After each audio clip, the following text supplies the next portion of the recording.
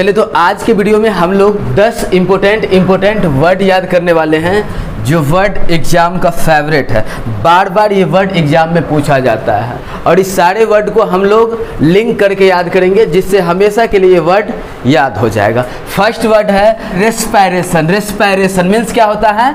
सांस लेना। रेस्पायरेशन मतलब सांस लेना। अब देखिए रेस पर रेस रेस पर रेस अभी आप लोग क्लास आए होंगे तो नॉर्मली लग नहीं रहा होगा, सांस ले रहे हैं। हाँ प्रीति को लग रहा होगा कि साइकिल चला गया है फास्ट तो लेकिन अगर दो बार, चार बार कहे कि दौड़ के जाइए, ऊपर नीचे ऊपर नीचे, तब रेस पर रेस रेस पर रेस जब रेस पर रेस लगाते तब जाके पता चलता है क्या?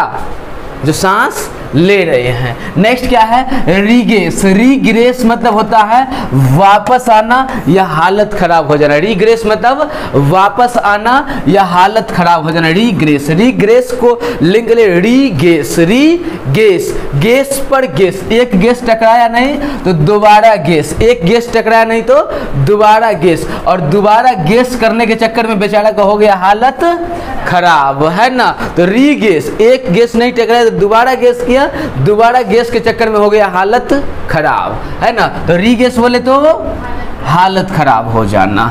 एक है डेराइड। डेराइड मतलब हो गया मज़ाक बनाना। डेराइड मतलब मज़ाक बनाना या उपहास करना। डेराइड मतलब मज़ाक बनाना या उपहास करना। डे राइड डे राइड अच्छा एक बात, राइड करना मतलब क्या होता है? राइड साइकिल को राइड किया जाता है या घोड़ा को राइड किया जाता है है ना? साइकिल चलाने को राइड राइड कहते हैं और घोड़ा चलाने को भी राइड राइड। अब देखिए राइड जैसे अभी ए, 2015 में क्या हुआ था? दिल्ली में एक सिस्टम चला था ऑड इवेंट का है ना? ऑड इवेंट का दोनों इधर नीतीश जी और उधर केजरीवाल दोनों एक एक प्लान बनाए कि देखिए, हम करते हैं, दारू बंद, अहाँ चलाओ ऑड इवेंट गाड़ी बंद, है ना? अब इनका केजरीवाल जी का तो चला नहीं, लेकिन कैसे कैसे खींच खींच के चल रहा है नीतीश जी वाला, है ना? तो क्या है, उसमें क्या हुआ था ऑड इवेंट में पहला एक दिन चलता था ऑड नंबर की गाड़ी, एक दिन चलता था इवन नंबर का गाड़ी। अब जिस बेचारे के पास गाड़ी ही एक दो तीन गाड़ी है दोनों का दोनों इवेने नंबर है तो ऑड के दिन कैसे जाएगा? तो घोड़ा खरीद लिया। क्या खरीद लिया? घोड़ा। अब घोड़ा में तो नंबर सही नहीं है और नंबर की इवेंट नंबर, है ना? अब वो बेचारा खरीद लिया घोड़ा। अब खुद ही बताइए, जिसको हमेशा फोर व्हीलर चलाने का आदत होगा, घोड़ा पकड़ा दीजिए तो क्या होगा? घोड़ा उलट पुलट देगा, है ना? अब घोड़ा उलट पुलट दिया, जिसके चक्कर में लोग मज़ाक बना दिए उसका, ये ढेर काबिल बनता है, घोड़ा खरीद लिया, है ना? तो डे राइड डे राइड मतलब मज़ाक बना, डे राइड मतलब मज़ाक बना। अब डे राइड, अब डे, पता है, वो तो सिस्टम दिन में लागू था, क्या था? फ़ैन बंद कर दे तो वो सिस्टम कहाँ दिन में ही लागू था, दिन में, रात में नहीं था। Day day ride day ride, बोल क्या रहे हैं? दिन में कर लेंगे राइड। नेक्स्ट नेक्स्ट क्या डिफेक्शन। डिफेक्शन मतलब विद्रोह त्याग। डिफेक्शन मतलब विद्रोह त्याग। डिफेक्शन को डिफेक्ट माल। कभी कभी माल ना डिफेक्ट दे देता है। जब आप ऑर्डर दिए कहीं भेज दीजिएगा एक ट्रक, और पूरे के पूरे ट्रक क्या दिया? डिफेक्ट माल दे दिया। डिफेक्ट। डिफेक्ट मतलब खराब माल, है ना? खराब माल दे दिया। अब बोलिए, जब आप किसी से उम्मीद किए, किसी पे आशा किए, किसी पे विश्वास किए, और वो आपके साथ धोखा देगा तो आप क्या कीजिएगा उसको? डिफेक्शन कर दीजिएगा उसके साथ, विद्रोह कर त्याग दीजिएगा। कहना, अब तुमसे माल नहीं मंगवाएँगे। तो डिफेक्ट माल दिया जिसके कारण उसके साथ हो गया? डिफेक्शन, विद्रोह हो गया। एक है इमेंसिपेशन मतलब होता है मुक्ति, आज़ादी। इमेंसिपेशन मतलब होता है मुक्ति, आज़ादी। इमेंसिपेशन, मुक्ति। Emancipation, freedom.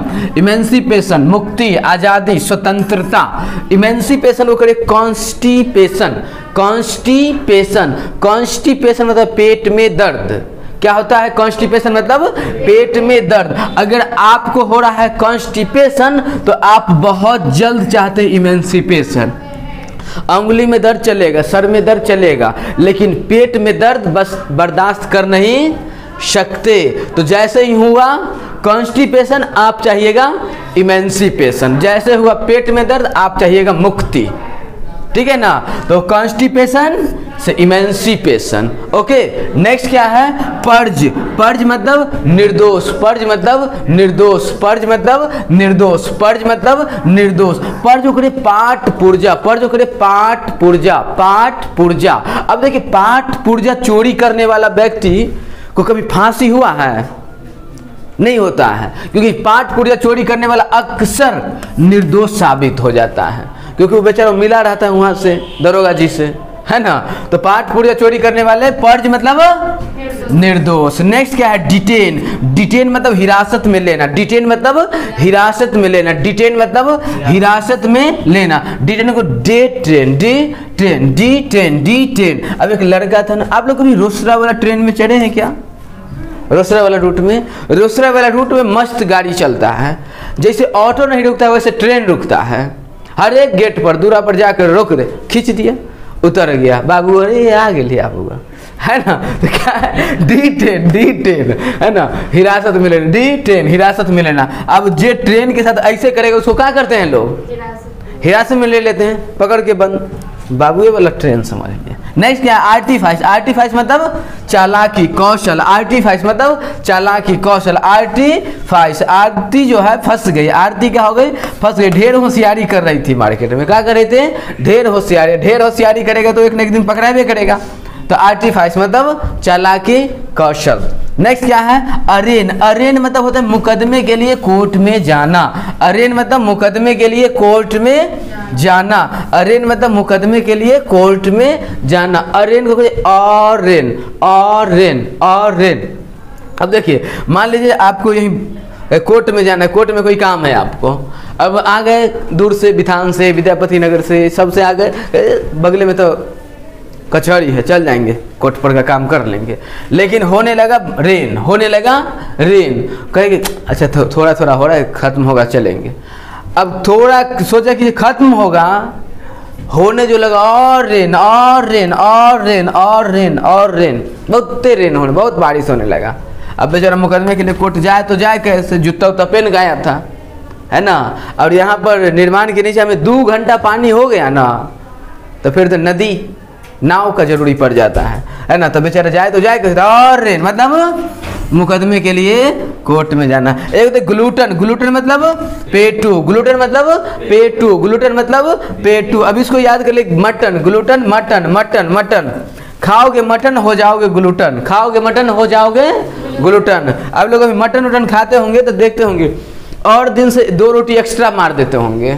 नहीं, दो, कुछ एक्स्ट्रा हो ही जाता है। वो एक्स्ट्रा के चक्कर में हो जाइएगा, पेटू।